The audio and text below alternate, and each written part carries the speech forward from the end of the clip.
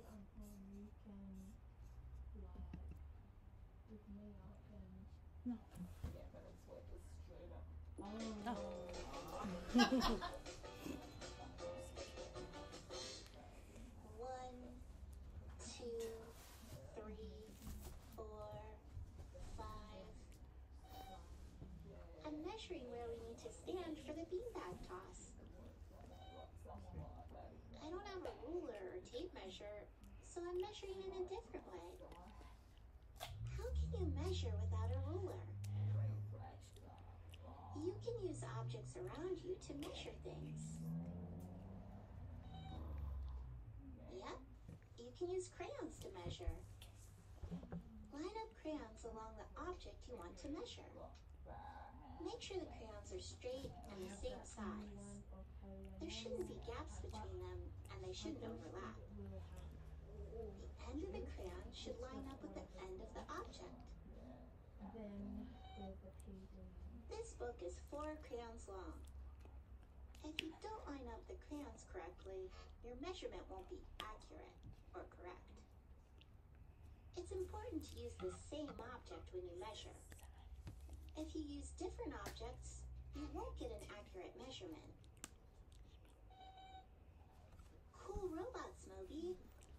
How tall are they? Eh, we can use blocks to measure their height. The green robot is four blocks tall. How tall is the red robot? Let's see. It's 10 blocks tall. You're right, Moby. It seems like the red robot is taller because the number is bigger. But I know the green robot is taller.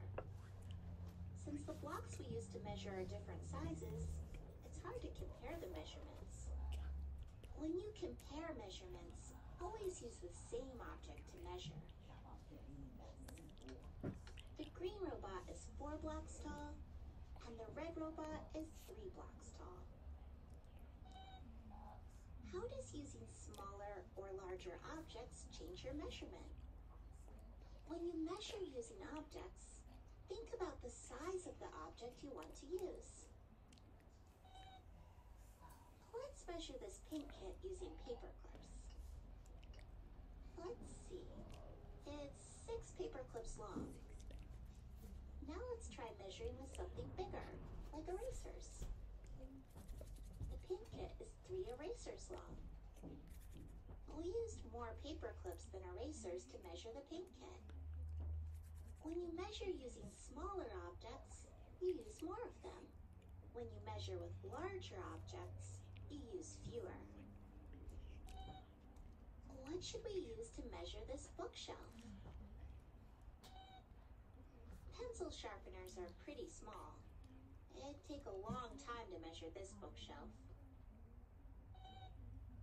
You want to use an electric guitar?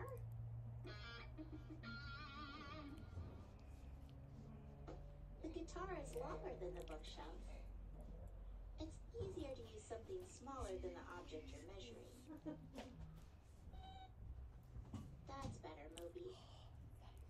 The bookshelf is four pencils wide. A unit is what you use to measure. So the unit we're using to measure is pencils. What are some examples of units? We measure length in units like centimeters or meters. We also measure in units like inches or feet. Standard units are common units that people use so they can describe measurements in the same way. If we didn't measure things in the same way, then we wouldn't understand each other. Building things would be really hard if we didn't use sometimes you don't have a ruler around, so you can use non-standard units. I need to measure about 10 feet away from the board for the beanbag toss. So I'm walking 10 steps. It looks like we need to stand here for the beanbag toss. You can go first, Moby.